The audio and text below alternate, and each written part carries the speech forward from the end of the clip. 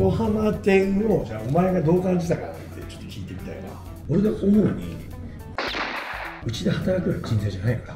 ら これやめなさいって言ってはい分かりましたっていうようなリーダーって入れないんだよお前俺が圧かけた時に初めてそのまたリーダーの進化を出るわけ。先行予約中プレゼントも割引もあるよあるよはいお疲れ様です。お疲れ様です横浜店はい横浜で。えー、来ました。楽しんできました。マジか楽しんでったよな。岡部とな。結構忙しかったよ。お前おらなかったな確かミオはいなかった。東京行って横浜行って静岡だろ。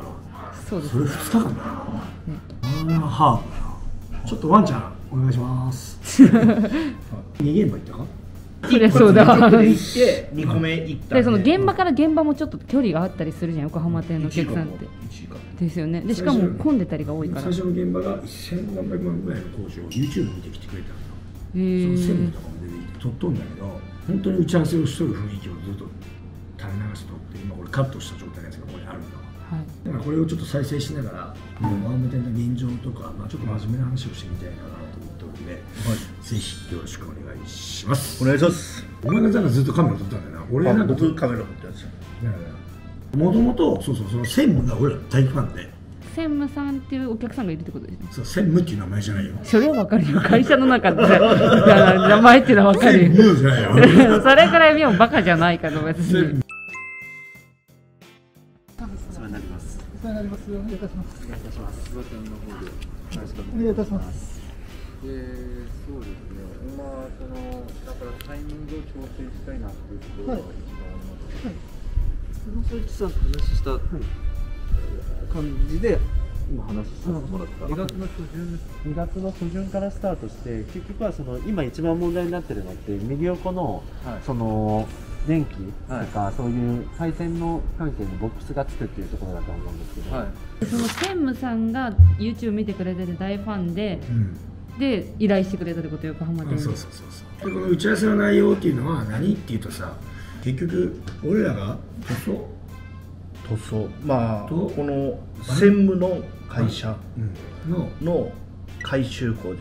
板金もやるしなんかいろんなことやるんだよな。いろんなこと。で足場一回組んで板金やってまた組み替えて今度こっちは鉄骨工事やるとか、うん。いろんなことがあって。で自分たちが設備屋さんだから今回ので足場屋さんは自分のところで用意すると。うんで組み替えたりいろいろあるから。工程を上手に合わせなあかんっていうので足場はよそ頼んどんだけど、まあ、そんなところに行っても俺何もできるよね。いやちょっと真面目な話しすぎたんで。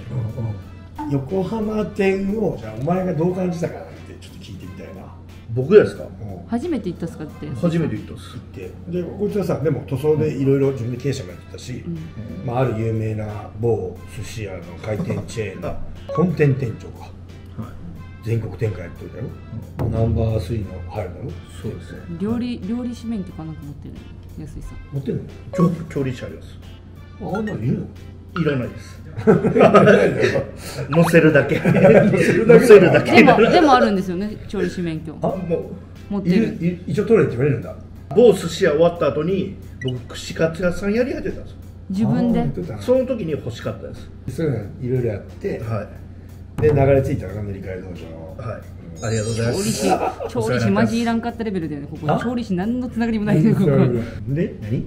僕一番感じたのはやっぱり2人でやってることあって仲いいですね多分。表表だけじゃなくてほんまに仲良し。ちょっと早く過ぎ過ぎすぎて好きや入ったじゃないですか、その時やっぱ社長僕岡部君松牛店長桜。桜山。桜山。おったんです誰けど。かわからなくなるっていう。おったんですけどやっぱりその2人で喋るなり、は仕事の話仕事の話はあったんですけどやっぱり最終的には2人で喋ってたなみたいな、あ本当？うん、俺もそういう感じになってやっぱり仲いいんかなってうまくいってるんかなって。成功しそうだなと思う。数字とかは分からないですけどうん。社長が横浜店店長任せてるぐらいなんで、成功する予想っていうか、あれじゃないですか。ね俺の横浜のイメージってまっすーがまずまあ、まあ、イメージだな。イコール横浜は。やっぱこっちでも優秀だったし。でお客さん絶対クレーム出さない絶対優秀っすよ。めちゃくちゃ年末僕本社に一人おったんですけど、うん。年末に本社来てましたからね。ああそうだな、はいでその塗り替えマインドってさやっぱさもう、今日稼いでもしょうがねえじゃん別にっていうのあるじゃん。よくいいじゃん俺。だから俺まっすーもそういう考え方で動いてるわけよ。目の前じゃなくてちゃんといや一個一個ちゃんとやりましょうみたいなだからクレームでもないしお客さんに喜ばせるわけよ。すごい知識とかもすごいけどそのトーク力もすごいもん。トークってやっぱ提案だよな、うん。こういうのがいいですよお客さんにこういうのがいいですよ。やっぱそれも知識が必要だから知識。があるってすごいん。そうそう。単純にさ例えばだよ。じゃあ服屋行って、まあ、この人がいいなと。だけど美桜ちゃんってこういうふうだし顔が例えば派手だし身長がちょっとこうだし。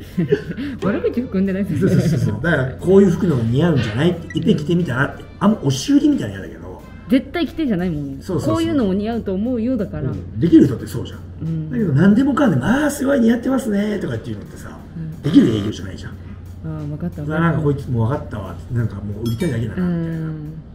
だからそういう意味ではこいつってやっぱねお客さんに「いやそれはもう必要ないですよ」とかも言うし「いやそれは別にやりたいって言ったらやってもよかったんじゃない?」って思う時もあるけど俺も。だから正直者すぎるよね。そこそうそう。でもそういうのがまあ何か営農場ないのとかまあ結果後で金ってついてくると思う。そっちの方がだからそういう意味では俺はまあ数値ってすごい優秀だと思ったけどやっぱねリーダーとして優しすぎるなんて俺は見てて。一つ注意するとしたら。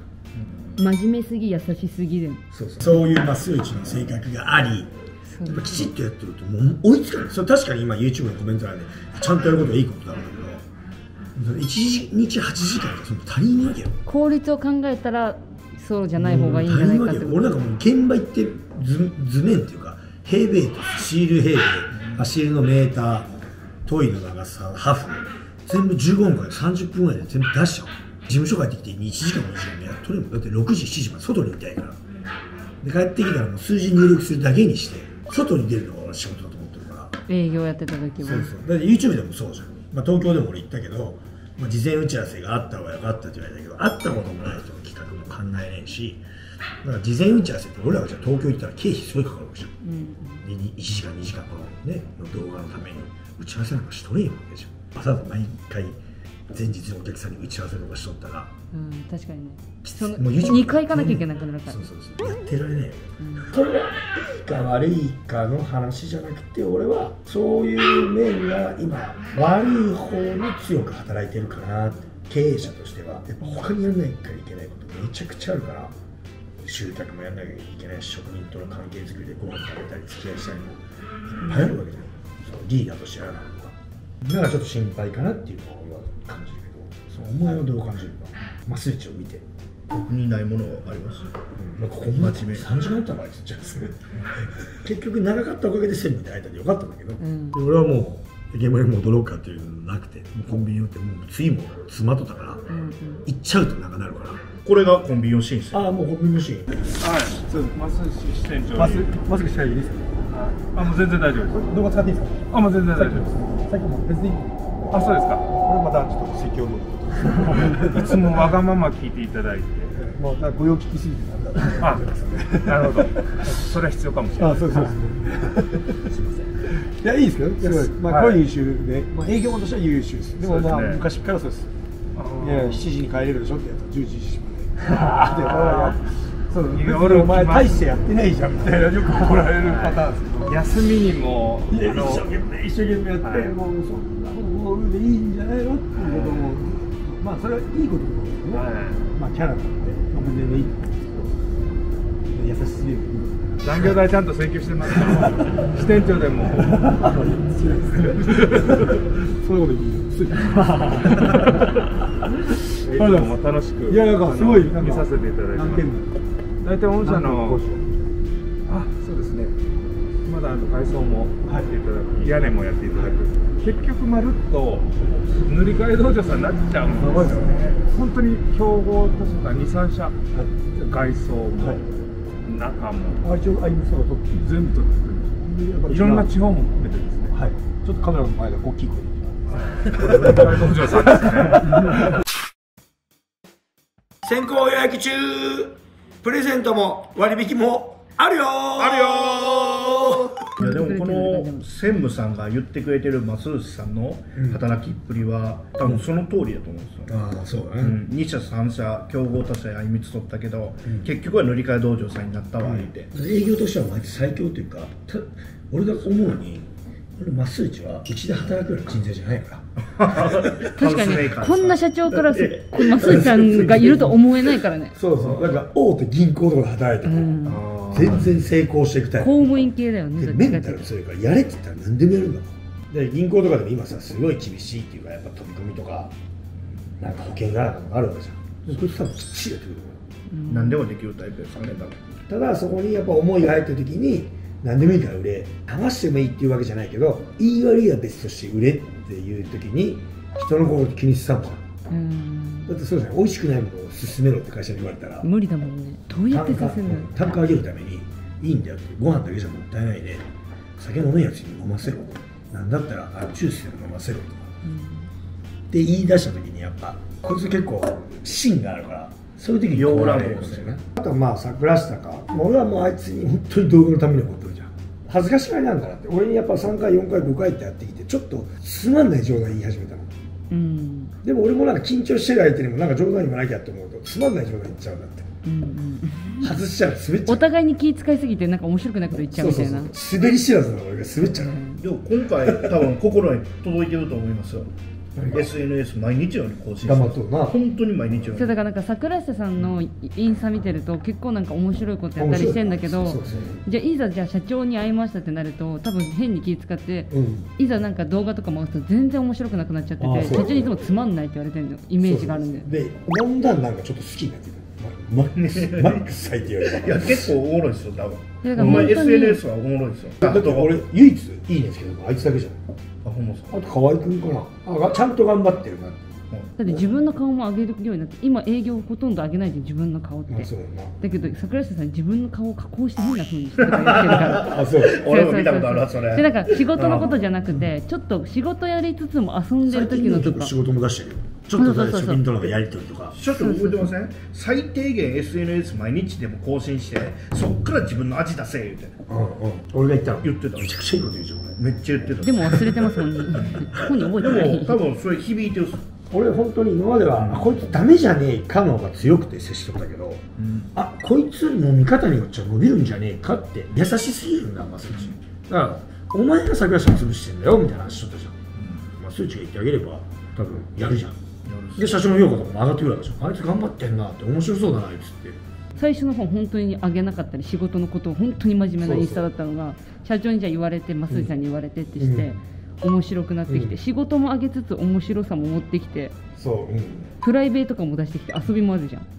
多分一番充実してるインスタグラムだよなって思えて最低きて。限お前には刺さってるわけだもんなだから増井さん分かってたんじゃない？それをよく一緒にいるから桜下さんがどういう人だって分かってるからだから社長が辞めさせろってどんだけ言っても辞めさせなかったのはこの人はこういう風だと思ってるから増井さん伸びると思ってるからこそ辞めさせなかったっていうのもあったりするかもしれない。本当に俺思うのは俺が辞めさせるって言ってはい分かりましたっていうようなリーダーってもう言えないんだよお前って。